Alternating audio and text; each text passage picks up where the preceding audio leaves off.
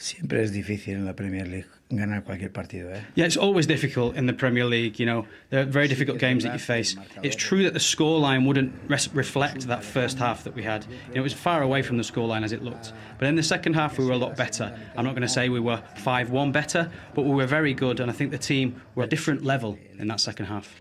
En la segunda mitad ya otro nivel. We know you like to take on defenders and, and get crosses into the box. It, it felt like a lot of the applause you got today was for defensive work. You, you worked very hard getting back. Yeah, because they were very low, so I couldn't. And as soon as I touched the ball, there were two players on me, so I didn't have a lot of uh, chances to dribble or go past my man. So, uh, but yeah, if you don't have a lot of chances to do that, you have to work on the other side. So uh, that's what I did. Hat trick for you, another perfect day for Manchester City.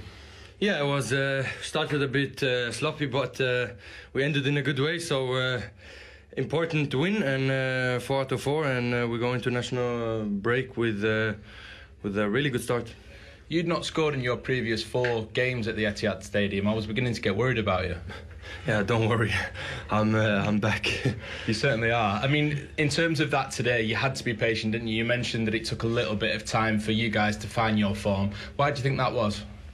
Yeah, I think it still needs. Uh, I think every year is like this in, in, this club. We we sometimes start a bit late because uh, we are playing uh, the last games because we are the best team. Uh, so uh, it's how it is, and uh, we will only get better and better from this. But this start here has been phen phenomenal and important.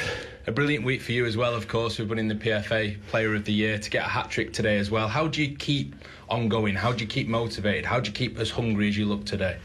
Yeah, no problem for me. I'm uh, I'm always hungry and uh, and it's a new season and uh, I'm uh, I'm ready for uh, I'm ready for it. And all that without Pep Guardiola as well. You don't need him, do you?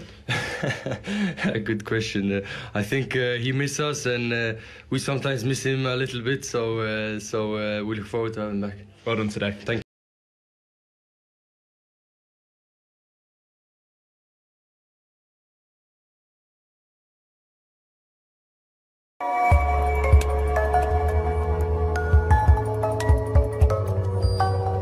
Position maintenant.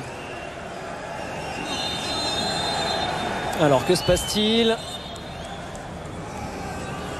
Le buteur Hakim Ziyech est resté au sol.